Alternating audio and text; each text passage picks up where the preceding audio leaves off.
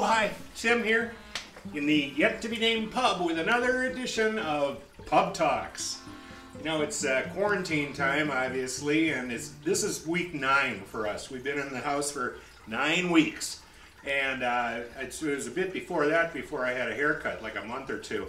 So hair's getting pretty shabby, and I decided, okay, this is it. I gotta give myself a haircut, which uh, you know I used to do in junior high. I had one of those Flowbee things. Bad decision, really bad. Okay, so here's how you do. You need some equipment for starters. Okay, first of all, I recommend Cuervo Gold or something pretty strong. This is to get your nerve up so you can actually do this stuff. Mm. Oh, okay. So what we got here? Uh, Ruby has got the comb. We got a comb. We got a buzzers, clippers here. Okay. Got some attachments that you put on them. Drop cloth down here to catch all the hair. And oh, a Shop-Vac.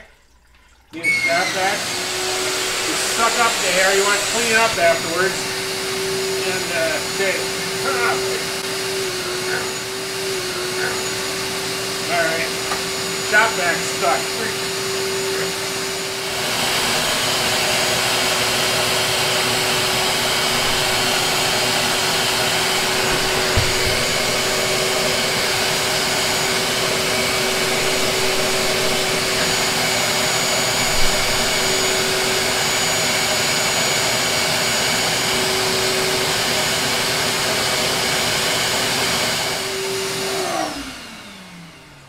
This does not bode well for a good haircut. We got the, uh, look at this, uh, hair dryer, regular old hair dryer, to, you know, dry it afterwards because you're going to want to style it and, and stuff. We got a, uh, got a, uh, a oh, it's got more of this, as inspiration juice, I call it.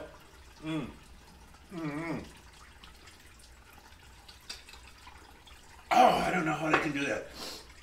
Okay, uh, scissors, okay a little mirror so you can actually see what you're doing. Might help to have a little sketch of what you want to have your, your hair look like when you're done. This is one I gave Alice last time.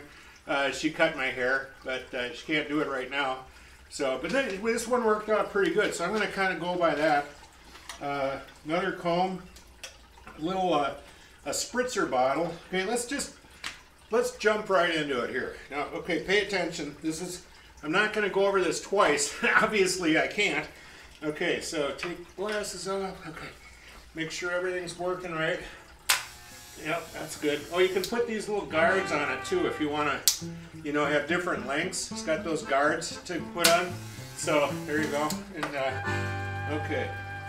So first you want to spritz down your hair with with water just to get it wet and look. That's bleach the heck? Who would ever suggest putting bleach on you? Holy crap. Oh, get my eye.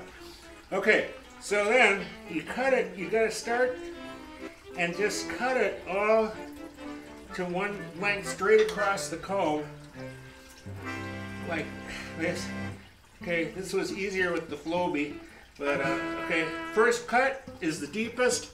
And, uh, oh, oh, we're out of time.